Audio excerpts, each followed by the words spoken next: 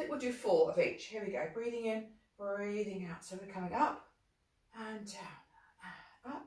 Keeping your posture. Three. Three? Three, four. There we go. All right, to the side. One, two. Keep the leg you're standing on slightly bent. Three. Obviously do this as slow as you want to. There, and then we're leaning forwards, as in leading with the chest, like we how we just practiced. Take the leg out behind and the other one comes forward. Two, three, four, good. And then just squat. One, squeeze, two, squeeze the buttock muscles, push the heels into the mat. Three, again, you can go a bit lower if you want to. It's up to you. I'm losing count. Is that five or four?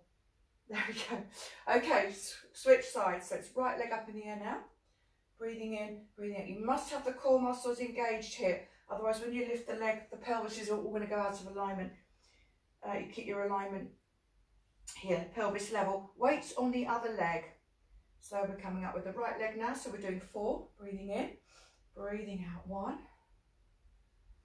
two. Remember when you raise the arm, try not to lift the shoulder. Keep that shoulder blade back and down three, four, out to the side, one, two. Obviously you've got the activation band, you're working more core muscles here.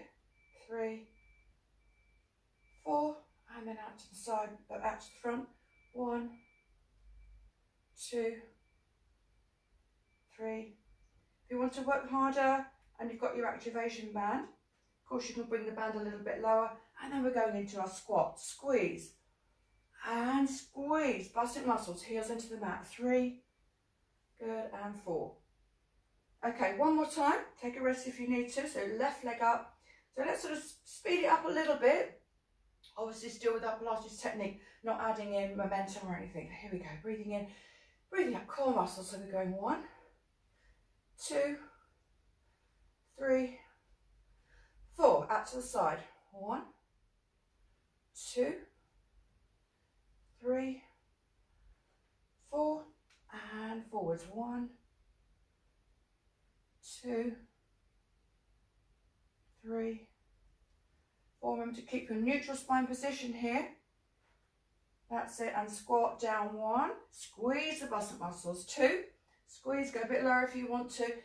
Hinge the hips back. Three, four. And then we're doing the other leg. Here we go. One, two, back nice and straight, three, four, out to the side, one, two, shoulders back and down, three, four, you should really feel that working your buttock muscles here, and then forwards, remember raise the hand, not the shoulder, one, two, three, lead with the chest, don't let the lower back arch, four, then finally into a squat down and squeeze, down and squeeze, down and squeeze. And last one, hold it. Turn the feet out a little bit more and then we'll just have a little bit of a squeezing action here. Still knees level with the toes. Scoop the inner thighs inside out and little pulsing. Buttock muscles. Remember, no, no rounding the back here.